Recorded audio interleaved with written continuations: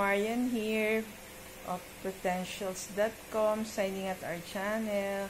So, lumabas tayo today. So, today is day 15 of GCQ. So, yan.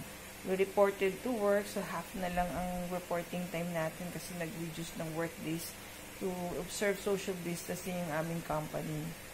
So, yan. Kumbaga, we just half at the office, half at home. Home quarantine pa rin. Kumbaga. Sabi nga, if you don't have anything to do outside, and you can do it, stay at home. So, nandiyan pa rin yung threat. So, we still have to stay at home. And of course, wag pa rin tayong um, to forget to pray.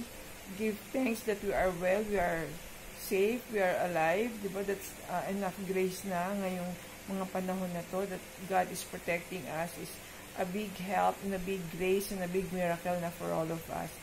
So, keep on praying, keep on hoping, keep on asking for God's for deliverance, for forgiveness, for safety, for protection, huwag tayong magsawa. God bless us all. Thank you for watching. Please subscribe and like our video. So, ay, by the way, galing din tayo sa grocery. So, nag-grocery din tayo today. For first time after yan, after ECQ, MECQ, and GCQ. Ngayon lang po tayo nakapag-grocery. Two days ago, we tried to, but sarado na daw may cut off ang Pure Go. We were not able to. So today, we went to Save More.